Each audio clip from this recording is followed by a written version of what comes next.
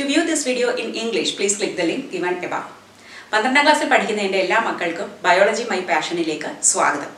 നമ്മളിപ്പോൾ പഠിച്ചുകൊണ്ടിരിക്കുന്നത് microbes in human welfare എന്ന ചാപ്റ്ററാണ് അതിൽ സിവേജ് ട്രീറ്റ്മെന്റ് പ്ലാന്റ് ഒഴികെയുള്ള മറ്റ് പാഠഭാഗങ്ങളെല്ലാം തന്നെ നമ്മൾ ഡിസ്കസ് ചെയ്ത് കഴിഞ്ഞു. ഇന്ന് നമുക്ക് സിവേജ് ട്രീറ്റ്മെന്റ് പ്ലാനിനെ കുറിച്ച് പഠിക്കാം.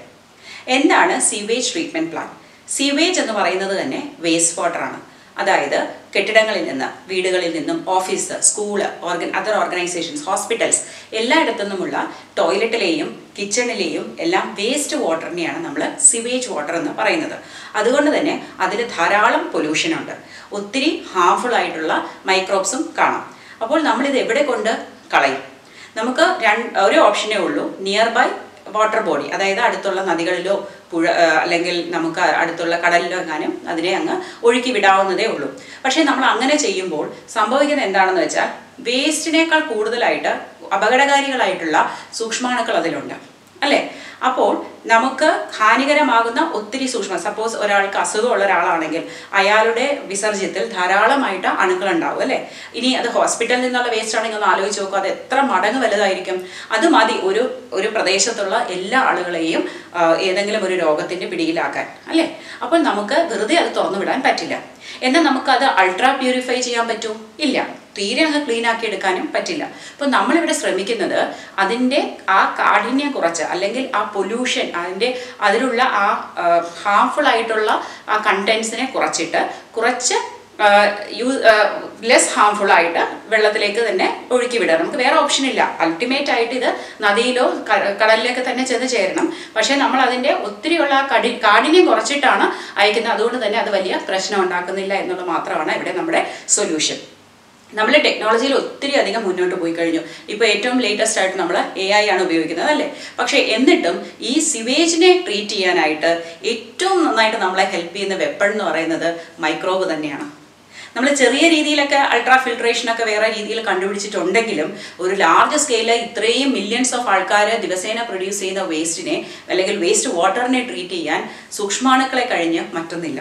അപ്പം നമ്മൾ മുള്ളിനെ മുള്ളുകൊണ്ട് എടുക്കുക എന്ന് പറയുന്നത് പോലെ അതിലെ ആ ഹാംഫുൾ ആയിട്ടുള്ള സൂക്ഷ്മാണുക്കളെയും മറ്റ് വേസ്റ്റിനെയെല്ലാം നശിപ്പിക്കാൻ നമുക്ക് ഒരു രീതിയിലുള്ള വേസ്റ്റ് സൂക്ഷ്മാണുക്കളെ നശിപ്പിക്കാൻ മറ്റൊരു രീതിയിലുള്ള സൂക്ഷ്മാണുക്കളെ നമ്മൾ ഉപയോഗിക്കുകയാണ് ചെയ്യുന്നത്.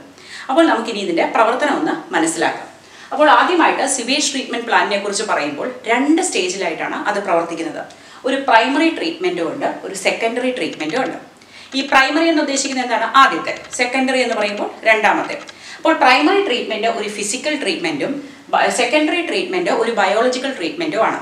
അത് എന്തുകൊണ്ടാണെന്ന് ചോദിക്കാം. അപ്പോൾ പ്രൈമറി ട്രീറ്റ്മെന്റിൽ ഫിസിക്കലായിട്ടുള്ള ഒരു ഫിൽട്ടറിങ് മാത്രമേ നടക്കുന്നുള്ളൂ. അതേസമയം സെക്കൻഡറി ട്രീറ്റ്മെന്റിൽ നമ്മൾ സൂക്ഷ്മാണുക്കളെ അല്ലെങ്കിൽ ജീവൻ ഉള്ള മൈക്രോബ്സിനെ ഉപയോഗിക്കുന്നത് കൊണ്ടാണ് അത് നമ്മൾ ബയോളജിക്കൽ ട്രീറ്റ്മെന്റ് എന്ന് ഉദ്ദേശിക്കുന്നത്. ഇനി എന്തൊക്കെയാണ് ഈ ഓരോ സ്റ്റേജിൽ സംഭവിക്കുന്നതെന്ന് നോക്കാം. ആദ്യമായിട്ട് സിവേജ് ട്രീറ്റ്മെന്റ് പ്ലാന്റിലേക്ക് എല്ലാ വീടുകളിൽ നിന്നും അല്ലെങ്കിൽ കെട്ടിടങ്ങളിൽ നിന്നും ഇൻസ്റ്റിറ്റ്യൂഷൻസിൽ നിന്നുമുള്ള വേസ്റ്റ് വാട്ടർ വരികയാണ് അതിൽ എല്ലാത്തരം വേസ്റ്റും ഉണ്ട്. അപ്പോൾ ആദ്യത്തെ പ്രക്രിയ എന്ന് പറയുന്നത് അതിനെ ഒന്ന് ഫിൽട്ടർ ചെയ്യുക എന്നുള്ളതാണ്. അപ്പോൾ മിക്കവാറും ഫ്ലോട്ട് ചെയ്ത് കിടക്കുന്ന ഡെബ്രി എന്ന് പറയും. അതായത് അത് ടിഷ്യൂ പേപ്പർ ആകാം അല്ലെങ്കിൽ പേപ്പർ ആകാം പഴയ തുണികളാകാം അല്ലെങ്കിൽ ഹ്യൂമൻ എക്സ്ക്രീറ്റ വിസർജ്യമാകാം എല്ലാം അതിനകത്തുണ്ട് അല്ലേ? അതുകൂടാതെ മണ്ണ് സിൽറ്റ് ഗ്രിറ്റ് എന്ന് പറയും നമ്മൾ ക്ലേ സാൻഡ് എല്ലാം ഉണ്ട്. അതിൽ ഗ്രിറ്റ് എന്ന് പറയും. ചെറിയ തരികളും പെബിൾസും എല്ലാം ഉണ്ട്. ഇതെല്ലാം കൂടി വരുമ്പോൾ അതിൽ ഫ്ലോട്ട് ചെയ്ത് കിടക്കുന്നതിനെ മാത്രം ആദ്യം ഫിൽട്ടർ ചെയ്ത് മാറ്റി മാറ്റിയിട്ട് ആ വെള്ളത്തിനെ മുഴുവൻ അടുത്ത ഒരു ടാങ്കിലേക്ക് നമ്മൾ അയക്കുകയാണ് ചെയ്യുന്നത്. ഇനി രണ്ടാമത്തെ ടാങ്കിൽ എന്താണ് സംഭവിക്കുന്നത്? സെഡിമെന്റേഷൻ നമ്മൾ അതിനെ അടിയാൻ സമ്മതിക്കും. അപ്പോൾ അടിഞ്ഞ് കുറച്ച് നേരം അനക്കാതെ വെക്കുമ്പോൾ തന്നെ അത് അടിയില്ലേ? അടിയുമ്പോൾ എങ്ങനെയുള്ള സംഭവങ്ങളാണ് സാധാരണ അടിയുന്നത് കുറച്ച് ഡെൻസിറ്റി കൂടുതലുള്ളത് അല്ലേ? അപ്പോൾ ഇവിടെ ഗ്രിറ്റും അങ്ങനെയുള്ളതെല്ലാം ഈ മണ്ണിന്റെ തരികളും അതെല്ലാം അടിയും. ഒപ്പം തന്നെ കുറേ വേസ്റ്റും എല്ലാം ഉണ്ടെങ്കിൽ അങ്ങ് സെറ്റിലാവും അങ്ങനെ കിട്ടുമ്പോൾ നമുക്ക് രണ്ട് ഭാഗങ്ങളാണ് കിട്ടുന്നത്. അടിയിൽ നമുക്ക് അടിഞ്ഞു കിട്ടുന്ന ആ വസ്തുവിനെ പറയുന്ന പേരാണ് പ്രൈമറി സ്ലഡ്ജ് ഒപ്പം നമുക്ക് മുകളിൽ കിട്ടുന്ന ആ ലിക്വിഡ് അല്ലെങ്കിൽ ആ വെള്ളത്തിനെ പറയുന്ന പേരാണ് പ്രൈമറി എഫ്ലുവന്റ് അപ്പോൾ ഇവിടെ ഒരൊറ്റ ചെറിയ ഫിൽട്രേഷനെ കഴിഞ്ഞിട്ടുള്ളൂ. ആ ജസ്റ്റ് ആ ജങ്കായിട്ട് കിടക്കുന്ന ഫ്ലോട്ട് ചെയ്യുന്ന സാധനങ്ങളെ അങ്ങ് മാറ്റിയതേ ഉള്ളൂ. പക്ഷേ വേസ്റ്റിന് ഇപ്പോൾ ഒരു കുറവും വന്നിട്ടില്ല അല്ലേ? അപ്പോൾ അതിൽ വീണ്ടും നമ്മൾ അടിയാൻ സമ്മതിച്ചു. അടിഞ്ഞപ്പോൾ പ്രൈമറി ഇത് പ്രൈമറി ട്രീറ്റ്മെന്റ് അല്ലേ? അപ്പോൾ ആദ്യം കിട്ടുന്ന ആ വസ്തുവിനെ സ്ലഡ്ജ് എന്ന് പറയും. അടിഞ്ഞു കിടക്കുന്ന ചെളിയെ സ്ലഡ്ജ് എന്ന് പറയും. ഒപ്പം പ്രൈമറി എഫ്ലുവന്റ് എന്നും പറയും. ഫിസിക്കൽ ട്രീറ്റ്മെന്റ് അഥവാ പ്രൈമറി ട്രീറ്റ്മെന്റിൽ രണ്ട് സ്റ്റേജസ് ആണുള്ളത്. ഏതൊക്കെയാണ്? Primary sorry filtration and sedimentation sedimentation കിട്ടും രണ്ട് ഫ്രാക്ഷൻസ് കിട്ടും. താഴെ അടിഞ്ഞു വരുന്നതിനെ നമ്മൾ പ്രൈമറി സ്ലഡ്ജ് എന്നും മുകളിൽ കെട്ടിക്കിടക്കുന്ന വെള്ളത്തിനെ നമ്മൾ പ്രൈമറി എഫ്ലുവന്റ് എന്നും പറയും. ഇനി നിങ്ങൾക്ക് പറയാമോ ഇതിൽ ഏതാണ് നമ്മൾ സെക്കൻഡറി ട്രീറ്റ്മെന്റിലേക്ക് പറഞ്ഞു വിടുന്നത്? സ്ലഡ്ജ് ആണോ ആ ലിക്വിഡ് ആണോ? ലിക്വിഡാണ് പ്രൈമറി എഫ്ലുവന്റിനെയാണ് നമ്മൾ ഫർദർ ആയിട്ട് അടുത്തതിലേക്ക് കൊണ്ടുപോകുന്നത്. കാരണം ഈ സ്ലഡ്ജ് എന്ന് പറയുന്നത് മിക്കവാറും ഓർഗാനിക് വേസ്റ്റ് തന്നെയാണ് അല്ലേ? അപ്പോൾ ഈ ഓർഗാനിക് വേസ്റ്റിനെ നമ്മൾ ഉണക്കിയിട്ട് നമ്മുടെ കൃഷിയിടങ്ങളിലൊക്കെ മെനുവറായിട്ട് വളമായിട്ട് ജൈവവളമായിട്ട് ജൈവ വളമായിട്ട് ഉപയോഗിക്കും. അതേസമയം ഈ വെള്ളം ഇനി എന്ത് ചെയ്യും എന്നുള്ളതാണ് നമ്മുടെ ചോദ്യം. അപ്പോൾ ഈ വെള്ളത്തിൽ ധാരാളം സൂക്ഷ്മാണുക്കളുണ്ട്. അതിനെ നമുക്ക് തുറന്നു വിടാൻ പറ്റില്ല. അപ്പോൾ ഇനി നമ്മൾ ആ വെള്ളത്തിനെ ട്രീറ്റ് ചെയ്ത് അതിന്റെ പൊല്യൂഷൻ ഇത്തിരി ഒന്ന് കുറയ്ക്കുകയാണ് നമ്മൾ ചെയ്യാൻ പോകുന്നത്. അതിനായിട്ട് നമുക്ക് അടുത്ത ട്രീറ്റ്മെന്റിലേക്ക് കടക്കാം. അതാണ് ബയോളജിക്കൽ ട്രീറ്റ്മെന്റ് ഇനി നമുക്ക് രണ്ടാമത്തെ സ്റ്റേജായ ബയോളജിക്കൽ ട്രീറ്റ്മെന്റ് പ്ലാനിനെ കുറിച്ച് മനസ്സിലാക്കാം. ബയോളജിക്കൽ ട്രീറ്റ്മെന്റ് എന്ന് പറയുന്നത് എന്താണ്? സെക്കൻഡറി ട്രീറ്റ്മെന്റ് ആണ് അല്ലേ? അപ്പോൾ ഇവിടെ നിന്നുള്ള പ്രൈമറി സ്ലഡ്ജിനെ നമ്മൾ ഉണക്കി ജൈവവളമായിട്ട് ഉപയോഗിക്കുന്നു. ഈ പ്രൈമറി എഫ്ലുവന്റ് ആ വെള്ളത്തിനെ നമ്മൾ എങ്ങോട്ട് കൊടുക്കുകയാണ്?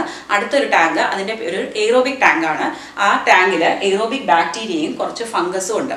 ഓക്കെ അപ്പോൾ ഈ ടാങ്ക് എന്ന് പറയുന്നത് എയ്റോബിക് ബാക്ടീരിയ ഉള്ളതുകൊണ്ട് തന്നെ അതിന് ധാരാളം ഓക്സിജൻ വേണം. അപ്പോൾ അതുകൊണ്ട് എപ്പോഴും ആ വെള്ളത്തിനെ നമ്മളിങ്ങനെ ഇളക്കിക്കൊണ്ടിരിക്കും. കണ്ടിന്യൂസ്ലി അജിറ്റേറ്റഡ് ഈ നമ്മുടെ വാഷിംഗ് മെഷീനിലൊക്കെ വെള്ളം കിടന്ന് കറങ്ങില്ലേ?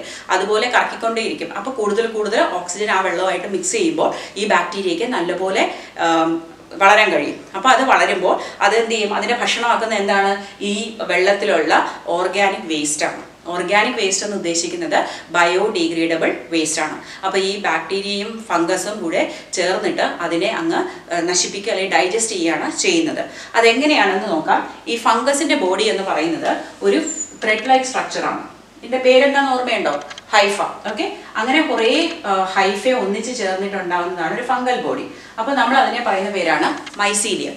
എന്നിട്ട് ഇതിനകത്ത് എന്ത് ബാക്ടീരിയ ഇങ്ങനെ എന്റാങ്കിൾ ആയി കിടക്കും. അതായത് അതൊരു അരിപ്പ പോലെ ഒരു മെഷ് പോലെ ആയിട്ട് ഈ ത്രെഡ് അതിനകത്ത് ബാക്ടീരിയ ഇങ്ങനെ പറ്റി പിടിച്ചിരിക്കും അങ്ങനെ ഉണ്ടാ ഉണ്ടാകുന്ന അതിനെ പറയുന്ന പേരാണ് ഈ ഫ്ലോക്ക്. ഫ്ലോക്സ് എന്ന് പറയുന്നത്. അപ്പോൾ എയറോബിക് ടാങ്കിൽ നമുക്കുള്ളത് ഫ്ലോക്സ് ആണ്. അപ്പോൾ നമ്മൾ കൂടുതൽ ഓക്സിജൻ കൊടുക്കുന്തോറും അവർ മൾട്ടിപ്ലൈ ചെയ്യും. അവർ ഈ ഓർഗാനിക് മാറ്റർ ഭക്ഷിച്ച് ഭക്ഷിച്ച് ഭക്ഷിച്ച് അവർ മൾട്ടിപ്ലൈ ചെയ്യുകയാണ് ചെയ്യുന്നത്. അങ്ങനെ വരുമ്പോഴേക്കും ഈ ഓർഗാനിക് മാറ്ററെല്ലാം ഡൈജസ്റ്റ് ചെയ്ത് ഡൈജസ്റ്റ് ചെയ്ത് പോകുമ്പോൾ ആ വെള്ളത്തിന്റെ പൊല്യൂഷൻ പൊട്ടൻഷ്യൽ അല്ലെങ്കിൽ അതിന്റെ പൊല്യൂഷൻ കുറയുകയാണ് ചെയ്യുന്നത്. അല്ലെങ്കിൽ വേസ്റ്റ് ഇല്ലാതാവുകയാണ് ചെയ്യുന്നത്. അതിനെ നമ്മൾ പറയുന്ന പേരാണ് B O D B O D ഇവിടെ ബി ഒ ഡി കുറയ്ക്കുകയാണ് നമ്മൾ ചെയ്യുന്നത്. ബി ഒ ഡി എന്താണെന്ന് വെച്ചാൽ ബയോ കെമിക്കൽ ഓക്സിജൻ ഡിമാൻഡ് എന്നതാണ് അതിന്റെ ഫുൾ ഫോം അല്ലെങ്കിൽ നമുക്കതിനെ ബയോളജിക്കൽ ഓക്സിജൻ ഡിമാൻഡ് എന്നും പറയാം. ഞാൻ നിങ്ങൾക്ക് ഒരു ഉദാഹരണത്തിലൂടെ വ്യക്തമാക്കാം. ഇവിടെ രണ്ട് വാട്ടർ സാമ്പിൾ ഉണ്ടെന്ന് കരുതുക. ഞാൻ എന്റെ വീടിനടുത്തുള്ള രണ്ട് പോണ്ടിൽ നിന്ന് കളക്ട് ചെയ്തു. ഒന്നിൽ കുറേ വേസ്റ്റ് ഒക്കെ ആൾക്കാർ കൊണ്ടിടുന്നുണ്ട് മാലിന്യം നിറഞ്ഞാണ്. മറ്റേത് ആൾക്കാർ അധികം വേസ്റ്റ് ഒന്നും ഇടാത്ത ഒരു കുളത്തിലാണ് വിചാരിക്കുക. ഇപ്പോൾ രണ്ട് വാട്ടർ ബോഡിയിൽ നിന്നും ഞാൻ വെള്ളം ശേഖരിക്കണം. നമുക്ക് കിണറ്റിലെ വെള്ളം ചെക്ക് ചെയ്യാനാകാം അല്ലെങ്കിൽ റിവറിലെ വെള്ളത്തിലാകാം ഏതും നമുക്ക് ഇങ്ങനെ ചെക്ക് ചെയ്യാൻ പറ്റും. അപ്പോൾ രണ്ട് സാമ്പിൾ കളക്ട് ചെയ്തു. എന്നിട്ട് നമ്മൾ അതിന്റെ ഓക്സിജൻ ലെവൽ പരിശോധിക്കുകയാണ്. അപ്പം ഞാനിവിടെ കാണിച്ചതിൽ എയിൽ ധാരാളം വേസ്റ്റ് ഉണ്ട് അല്ലേ? അപ്പോൾ വേസ്റ്റ് കൂടുന്തോറും ഈ എയ്റോബിക് ബാക്ടീരിയ കൂടും. അവർ ഇതിനെ ഡൈജസ്റ്റ് ചെയ്യാണ്. അപ്പോൾ അതിന് കൂടാനായിട്ട് അവർക്ക് എന്ത് വേണം? ഓക്സിജൻ വേണം. അവർ ഈ വെള്ളത്തിൽ ഓക്സിജൻ എടുത്തുകൊണ്ടേയിരിക്കും. അപ്പോൾ വെള്ളത്തിൽ ഓക്സിജന്റെ ലെവൽ എങ്ങനെയായിരിക്കും? കുറവായിരിക്കും. ഓക്കെ അപ്പോൾ കൂടുതൽ ഓർഗാനിക് മാറ്റർ ഉള്ളപ്പോൾ കൂടുതൽ എറോബിക് ബാക്ടീരിയ അതിനെ നശിപ്പിക്കുന്നത് കാരണം വെള്ളത്തിലെ ഓക്സിജന്റെ ലെവൽ കുറയും. അതുകൊണ്ട് തന്നെ അതിന്റെ താഴെ ഉള്ള മറ്റ് ഫിഷ് പോലുള്ള മത്സ്യങ്ങളും മറ്റ് തരത്തിലുള്ള ആനിമൽസിനും എല്ലാം ജീവിക്കാൻ ബുദ്ധിമുട്ടാണ്. കാരണം പൊല്യൂഷൻ കൂടുമ്പോൾ ഓക്സിജന്റെ ലെവൽ കുറയും. മനസ്സിലായില്ലേ? അതേസമയം രണ്ടാമത്തെ കേസിൽ എങ്ങനെയാ? ഓർഗാനിക് മാറ്റർ കുറവാണ്. അതുകൊണ്ട് ഓക്സിജൻ വെള്ളത്തിൽ ആവശ്യത്തിനുണ്ട്. അതുകൊണ്ട് ജീവജാലങ്ങൾക്കെല്ലാം അത് വലിയ ബുദ്ധിമുട്ട് ഉണ്ടാക്കുന്നില്ല. ഇതിൽ നിന്ന് നമ്മൾ മനസ്സിലാക്കേണ്ടത് പൊല്യൂഷൻ കൂടുമ്പോൾ അല്ലെങ്കിൽ ഓർഗാനിക് മാറ്റർ കൂടുമ്പോൾ ബി ഒ ഡി ഹൈ ആയിരിക്കും. ഓക്കെ നമ്മൾ ബി ഒ ഡി ഹൈ എന്ന് പറയും. ബി ഒ ഡി ഹൈ ആയാൽ അതിനർത്ഥം എന്താ? ഓക്സിജൻ ഡിമാൻഡ് ഓക്സിജന്റെ ലെവൽ കുറവാണ്. ഡിമാൻഡാണ് കൂടുതൽ. ഓക്സിജനുള്ള ഡിമാൻഡ് കൂടുതൽ അളവ് കുറവാണ് അപ്പം നമുക്ക് ബി ഒ ഡി കുറച്ചാൽ നമുക്ക് എന്ത് കുറയ്ക്കാം? പൊല്യൂഷൻ കുറയ്ക്കാം. അല്ലേ? അപ്പോൾ ഇവിടെ ആദ്യം വരുമ്പോൾ ഹൈ ബി ഒ ഡി ആണ്. എന്നിട്ട് നമ്മൾ ഈ ഫ്ലോക്സ് കൊടുത്തിട്ട് നമ്മൾ ഇളക്കി ഇളക്കി ആ ഓക്സിജൻ കൊടുത്ത് അവരെ മൾട്ടിപ്ലൈ ചെയ്യിക്കുന്നത് കൊണ്ട് അത് ഇതിനെ ഭക്ഷിച്ച് ഭക്ഷിച്ച് ഭക്ഷിച്ച് ഡൈജസ്റ്റ് ചെയ്ത് എല്ലാം ഇല്ലാതാകും. അങ്ങനെ നമ്മൾ ഇടയ്ക്കിടയ്ക്ക് ഇങ്ങനെ സാമ്പിൾ നോക്കി. അവസാനം നമ്മൾ നോക്കുമ്പോൾ ബി ഒ ഡി വളരെ കുറയുന്നതായിട്ട് കാണാം. കൺസിഡറബിളി ലോ അപ്പോൾ നമുക്കറിയാം ഇനി ഇതിനെ നമ്മൾ അടുത്ത ഒരു വാട്ടർ ബോഡിയിലോട്ട് നദിയിലോട്ടോ അല്ലെങ്കിൽ കടലിലോട്ടോ തുറന്നു വിട്ടോ ഒന്നും സംഭവിക്കില്ല. അല്ലേ? അതിനകത്ത് പ്രശ്നങ്ങളെല്ലാം തീർന്നു കഴിഞ്ഞു. അതിന്റെ ഹാർഫുൾ ഇഫക്ട്സ് ഒക്കെ മാറിക്കഴിഞ്ഞു. ഇനി സേഫ് ആയിട്ട് നമുക്ക് റിലീസ് ചെയ്യാം. അങ്ങനെ വളരെ ലോ ആയിട്ട് ഒരു ബി ഒ ഡി എത്തുന്ന ലെവലാകുമ്പോഴേക്കും നമുക്കിതിനെ ഇനി റിലീസ് ചെയ്യണം. പക്ഷേ വെറുതെ അങ്ങ് റിലീസ് ചെയ്യാൻ പറ്റില്ല. കാരണം ഇതിൽ നിറച്ച് അനേറോബിക് ബാക്ടീരിയയും ഫംഗസും ഒക്കെ ഉണ്ട്. അപ്പോൾ അതുകൊണ്ട് നമ്മൾ എന്ത് ചെയ്യണം? അടുത്ത ഒരു ടാങ്കിലേക്ക് വിടുകയാണ്. അത് വീണ്ടും ഒരു സെറ്റിലിംഗ് ടാങ്കാണ് അപ്പോൾ ഇവിടെയും ഫിൽട്രേഷൻ കഴിഞ്ഞ ഒരു സെറ്റിലിംഗ് ടാങ്ക് ഇവിടെയും എയറോബിക് സ്ലഡ്ജ് കഴിഞ്ഞിട്ട് അല്ലെങ്കിൽ എയറോബിക് ടാങ്ക് കഴിഞ്ഞിട്ട് ഒരു ഫിൽട്ടറിംഗ് ഒരു സെറ്റിലിംഗ് ടാങ്കാണ് വീണ്ടും അതിനെ നമ്മൾ സെറ്റിൽ ചെയ്യാൻ അലോ ചെയ്യുകയാണ്. അപ്പോൾ സെറ്റിൽ ചെയ്ത് കഴിയുമ്പോൾ ഇവിടെ നമുക്ക് കിട്ടുന്നത് അടിയിൽ വെള്ളം വീണ്ടും വേസ്റ്റ് അടിയോ? ഇല്ല. കാരണം വേസ്റ്റ് എല്ലാം ഡിപ്ലീറ്റ് ചെയ്ത് കഴിഞ്ഞല്ലേ നശിപ്പിച്ച് കഴിഞ്ഞു. ഇനി നമുക്കുള്ളത് എന്താ? ഈ ഫ്ലോക്കേ ഉള്ളൂ. ആ ഫ്ലോക്ക് വന്ന് അടിയും. അപ്പോൾ അതിനെ നമ്മൾ പറയുന്ന പേരാണ് സെക്കൻഡറി സോറി അതിനെ നമ്മൾ പറയുന്ന പേരാണ് ആക്ടിവേറ്റഡ് സ്ലഡ്ജ് അപ്പോൾ ഫ്ലോക്ക് വന്ന് അടിയുമ്പോൾ നമ്മൾ അതിനെ പറയുന്ന പേരാണ് ആക്ടിവേറ്റഡ് സ്ലഡ്ജ് അതിന് മുകളിലുള്ള വെള്ളത്തിനെ പറയുന്ന പേരാണ് സെക്കൻഡറി എഫ്ലുവന്റ് അപ്പോൾ ഇവിടെ നമുക്ക് കിട്ടിയത് പ്രൈമറി സ്ലഡ്ജും പ്രൈമറി എഫ്ലുവന്റ് ഇവിടെ സെക്കൻഡറി എഫ്ലുവന്റും ആക്ടിവേറ്റഡ് സ്ലഡ്ജും ആണ് ഉള്ളത്. ഇനി ഈ സെക്കൻഡറി എഫ്ലുവന്റിനെയാണ് നമുക്ക് തുറന്നു വിടേണ്ടത്. ഇപ്പോൾ അത് സേഫ് അല്ലേ? ഓക്കെ നമുക്ക് ധൈര്യമായിട്ട് അടുത്തുള്ള റിവറിലോട്ടോ കടലിലോട്ടൊക്കെ ഒഴുക്കി വിടാം. അതേസമയം ഈ ആക്ടിവേറ്റഡ് സ്ലഡ്ജിന് ഇനി എന്ത് ചെയ്യാൻ പറ്റും? നമുക്കതിനെ നശിപ്പിക്കണം. അപ്പോൾ അതിന് മുമ്പ് നമുക്ക് അതിന്റെ പ്രീവിയസ് ടാങ്കിൽ എപ്പോഴും നമുക്ക് വേണ്ടേ കുറച്ച് ഫ്ലോക്സ് അപ്പോൾ ഇവിടെ നിന്ന് കുറച്ച് എപ്പോഴും നമ്മൾ ഈ ടാങ്കിലേക്ക് കൊടുത്തുകൊണ്ടിരിക്കും അതിനെ നമ്മൾ പറയുന്ന പേരാണ് ഇനോക്കുലം. ഈ ഒരു വേർഡ് നമ്മൾ ഇതിനു മുമ്പ് പഠിച്ചു. എവിടെയാണെന്ന് ഓർമ്മയുണ്ടോ? നമ്മൾ ഈ ചാപ്റ്ററിൽ തന്നെ കേടിന്റെ കാര്യം പറഞ്ഞപ്പോൾ തൈര് ഉണ്ടാക്കി വീട്ടിൽ തൈര് ഉണ്ടാക്കുന്ന കാര്യം പറഞ്ഞപ്പോൾ പറഞ്ഞു. നമ്മൾ പാൽ തിളപ്പിച്ച് ചൂടാറിയതിന് ശേഷം നമ്മൾ നേരത്തെ വീട്ടിലിരിക്കുന്ന തൈരിന് ഒരു സ്പൂൺ ഇതിലേക്ക് ചേർത്ത് കൊടുക്കും. എന്തിനാണ് നമ്മൾ അങ്ങനെ ചെയ്യുന്നത്? ആ ഒരു സ്പൂൺ തൈര് എന്ന് പറയുന്നത് millions of lactic acid bacteria അതിലുണ്ട് അല്ലേ? ആ ബാക്ടീരിയ എല്ലാം ചേർന്നിട്ട് ആ പ്രോസസ്സ് ഫാസ്റ്റ് ആക്കും. അതുപോലെ തന്നെയാണ് ഇവിടെ. ഇവിടുന്ന് കുറച്ച് ഇങ്ങോട്ട് ഇട്ട് കൊടുക്കുമ്പോൾ ഇവിടെ അത് പെട്ടെന്ന് മൾട്ടിപ്ലൈ ചെയ്തുകൊണ്ടിരിക്കും. അല്ലേ? അപ്പോൾ നമ്മൾ എന്ത് ഈ ആക്ടിവേറ്റഡ് സ്ലജിനെ അടുത്ത ഡൈജസ്റ്ററിലോട്ട് കൊടുക്കുകയാണ്. ആ ഡൈജസ്റ്ററിന്റെ പേരാണ് സ്ലഡ്ജ് ഡൈജസ്റ്റർ ആ സ്ലഡ്ജ് ഡൈജസ്റ്ററിന്റെ കണ്ടീഷൻ എങ്ങനെയാണ്? അനേറോബിക് ആണ്. അനേറോബിക് സ്ലഡ്ജ് ഡൈജസ്റ്റർ അപ്പോൾ അവിടെയുള്ള മൈക്രോബ്സ് എങ്ങനെയുള്ളതാണ്? അനേറോബിക് ആണ്. അവർക്ക് ഓക്സിജൻ വേണ്ട. ഓക്കെ അപ്പോൾ ഓക്സിജൻ ഇല്ലാതെ ഉണ്ടാകുന്ന ആ അനേറോബിക് സ്ലഡ്ജ് ഡൈജസ്റ്റർ എന്തുണ്ടാക്കും? നമ്മുടെ ഈ ഫ്ലോക്സിനെ എല്ലാം നശിപ്പിച്ചിട്ട് ബയോഗ്യാസ് ഉണ്ടാക്കും. സാധാരണയുള്ള ഡീകമ്പോസേഴ്സ് എല്ലാം എങ്ങനെയുള്ളതാണ്? അനേറോബിക്കാണ്. അപ്പോൾ അവിടെ നമുക്ക് ബയോഗ്യാസ് ആണ് കിട്ടുന്നത്. ആ ബയോഗ്യാസിന്റെ കോമ്പണൻസ് പറയുന്നത് ഏറ്റവും പ്രധാനമായിട്ട് മീതേനാണുള്ളത് മീതേനോടൊപ്പം ഹൈഡ്രജൻ സൾഫൈഡും കാർബൺ ഡൈ ഓക്സൈഡും ആണ് ഉണ്ടാകുന്നത് അത് സിവേജ് ട്രീറ്റ്മെന്റ് പ്ലാനിൽ നമ്മൾ കൗഡങ് ഉപയോഗിച്ച് ഗോബർ ഗ്യാസ് ഉപയോഗിച്ചാണ് നമ്മുടെ ബയോഗ്യാസ് ഉണ്ടാക്കുന്നതെങ്കിൽ അവിടെ മീതേൻ ഹൈഡ്രജനും കാർബൺ ഡൈ ഓക്സൈഡും ആണ് അവിടെ ഹൈഡ്രജൻ സൾഫൈഡ് ഇല്ല. ഓക്കെ അത് മനസ്സിലാക്കിയ വ്യത്യാസം. നമ്മളത് പഠിച്ചു. ഉണ്ടാക്കുന്ന നമ്മൾ യൂസ് ചെയ്യുന്ന സബ്സ്ട്രേറ്റിനനുസരിച്ചാണ് ബയോഗ്യാസിന്റെ കോമ്പിനേഷൻ നമ്മൾ അന്ന് ആ ബയോഗ്യാസ് പ്ലാന്റ് പഠിച്ചപ്പോൾ ഞാനത് വ്യക്തമാക്കിയിരുന്നു. അപ്പോൾ ഇതാണ് നമ്മളിവിടെ പഠിക്കേണ്ടത്. അപ്പോൾ പെട്ടെന്നൊന്ന് പറഞ്ഞാൽ ആദ്യം ഫിസിക്കൽ ട്രീറ്റ്മെന്റ് ഫിൽട്ടർ ചെയ്യുന്നു ഫ്ലോട്ടിംഗ് ആയിട്ടുള്ള വേസ്റ്റിനെ മാറ്റുന്നു. അത് കഴിഞ്ഞിട്ട് സെഡിമെന്റേഷൻ ടാങ്കി കൊടുക്കുന്ന അടി അടിയുന്നു. അതിൽ നിന്ന് നമുക്ക് രണ്ട് പാർട്ട് കിട്ടുന്നു. താഴെയുള്ളത് പ്രൈമറി സ്ലഡ്ജ് മുകളിലുള്ളത് പ്രൈമറി എഫ്ലുവന്റ് പ്രൈമറി എഫ്ലുവന്റ് നമ്മൾ ബയോളജിക്കൽ ട്രീറ്റ്മെന്റിനായിട്ട് അടുത്ത ടാങ്കിൽ കൊണ്ടുപോകുന്നു. എയറോബിക് ടാങ്കിൽ ഇട്ടിട്ട് ഫ്ലോക്സൈനെ ഡിപ്ലീറ്റ് ചെയ്ത് ബി ഒ ഡി കുറയുമ്പോൾ അതിനെ അടുത്ത സെറ്റിലിംഗ് ടാങ്കിൽ കൊണ്ടുപോകുന്നു. ആക്ടിവേറ്റഡ് സ്ലഡ്ജ് അടിയുന്നു. സെക്കൻഡറി എഫ്ലുവന്റിനെ നമ്മൾ റിലീസ് ചെയ്യുന്നു. ആക്ടിവേറ്റഡ് സ്ലഡ്ജിനെ അനീറോബിക് സ്ലഡ്ജിൽ ഡൈജസ്റ്റ് ചെയ്യുന്നു. അനേറോബിക് സ്ലഡ്ജ് ഡൈജസ്റ്ററിൽ ഡൈജസ്റ്റ് ചെയ്യുന്നു. അപ്പോൾ ഇനി പല രാജ്യങ്ങളിലും ഈ ഒരേ ടെക്നോളജി തന്നെയാണ് വർഷങ്ങൾ നൂറിൽ കൂടുതൽ വർഷങ്ങളായിട്ട് നമ്മൾ ഇത് തന്നെയാണ് ഉപയോഗിച്ചുകൊണ്ടിരിക്കുന്നത്. ചെറിയ ടെക്നോളജിക്കൽ ഡിഫറൻസ് വരാം പക്ഷേ ബേസിക് പ്രിൻസിപ്പിൾ ഇത് തന്നെയാണ്. കാരണം മൈക്രോബിനേക്കാൾ നമ്മളെ ഈ ഒരു പ്രവർത്തനത്തിൽ സഹായിക്കുന്ന മറ്റൊന്നും തന്നെ ഇതുവരെ നമുക്ക് ഡെവലപ്പ് ചെയ്തെടുക്കാൻ കഴിഞ്ഞിട്ടില്ല. നമ്മുടെ രാജ്യത്തെ ഏറ്റവും പ്രധാനപ്പെട്ട രണ്ട് നദികളാണ് ഗംഗയും യമുനയും. അപ്പോൾ നമ്മുടെ ഗംഗയിലെ ജലം വളരെയധികം പൊല്യൂട്ടഡായി കഴിഞ്ഞു. യമുനയിലും സ്ഥിതി വ്യത്യസ്തമല്ല. അപ്പോൾ ഗവൺമെന്റ് ഓഫ് ഇന്ത്യ ഇവരെ ഈ ഗംഗ രക്ഷിക്കാൻ വേണ്ടിയിട്ട് ഗംഗ ആക്ഷൻ പ്ലാൻ എന്നൊരു മൾട്ടി ക്രോർ പ്രോജക്റ്റ് ഒത്തിരി കോടികൾ ചെലവിട്ടാണ് ആ ഒരു പദ്ധതി ഉണ്ടാക്കിയത്. ആ പദ്ധതിയിൽ എന്താണ് അവർ പ്രധാനമായിട്ടും ചെയ്തതെന്ന് വെച്ചാൽ ഗംഗാ നദീതടത്തിൽ പല സ്ഥലങ്ങളിലായിട്ട് സിവേജ് ട്രീറ്റ്മെന്റ് പ്ലാന്റുകൾ സ്ഥാപിച്ചു.